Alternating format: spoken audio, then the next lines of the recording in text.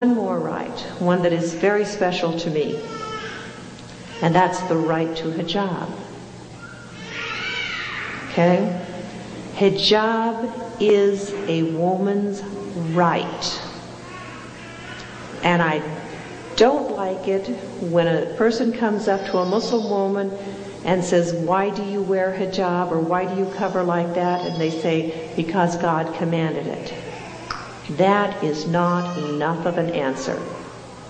You need to let people know this is one of our rights. The Quran says to identify ourselves as being Muslim. What greater thing than to be identified as being a Muslim? When I am identified as being a Muslim, this means that I know my worth. I know my value.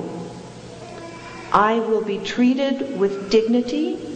I will be treated with respect. I will be treated with that which Allah has granted me. My hijab tells the world that I know my value. My hijab also opens the door to dawah. Identify yourself as being a Muslim. When I walk down the street, everyone knows I'm someone different, something different, and they may approach me in a variety of different ways. But we have a conversation starter right there and then we can pick up and go further. Now, one of the common ones occurs when I go into a store and somebody will say, What are you? You know? Now we know. What they want to know is, Why are you dressed so weird? Okay, that's what they really want to know. But in studying the Sunnah, you see how the Prophet Muhammad used humor in dealing with people. He used humor a great deal, so you go ahead and respond with humor.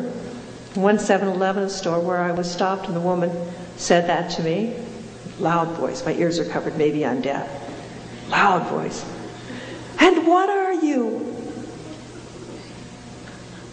I'm a woman.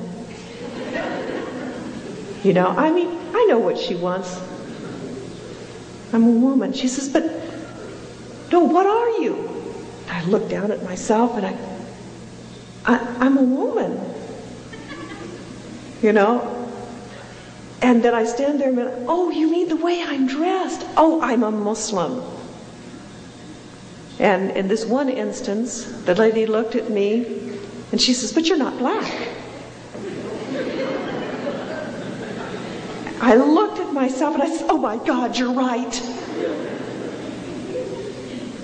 Okay? A little bit of humor. But I was identified as being at least something different. Now I identify myself as being Muslim. Now I have a chance to talk about Islam.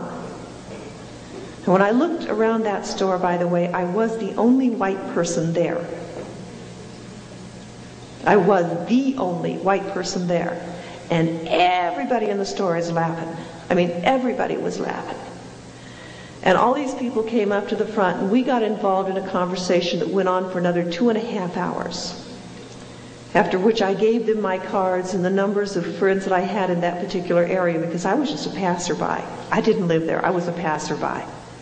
I didn't even live in that state. I was just driving through.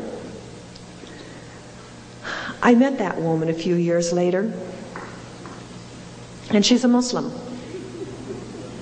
that clerk became a Muslim. Okay?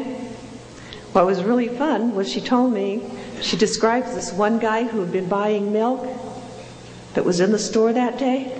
They're getting married. He's a Muslim too.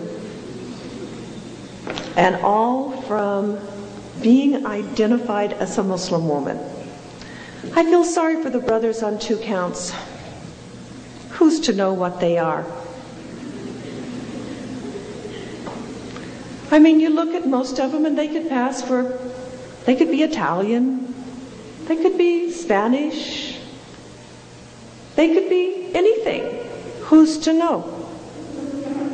Because most of them aren't identifiable. I feel sorry because they don't get an opportunity to demonstrate the courage that a Muslim woman has. Because it takes profound courage to walk out in hijab when you're living in an environment where women in hijab are persecuted. That takes true courage. And the woman is the weaker. I'd like to see my dear brothers go to work in a thobe.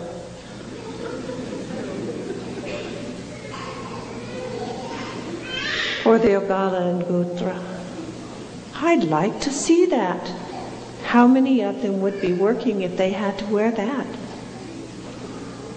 Not too many, I think. But women have more courage than they give us credit for.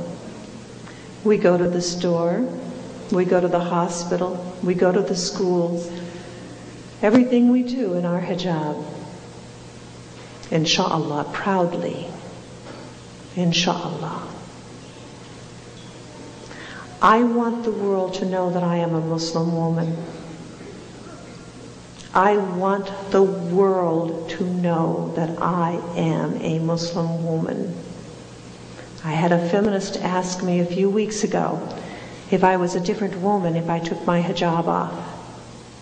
I told her no. I'm not different. It doesn't change me. She says, Why do you have to wear it then? Only one reason. I want to be identified by everyone I meet as a Muslim woman. I want there to be no confusion, no doubt in anyone's mind. That's a Muslim woman. This is my right. And I will fight for this right. And I will maintain this right. Allah gave it to me, and no one is taking it away from me.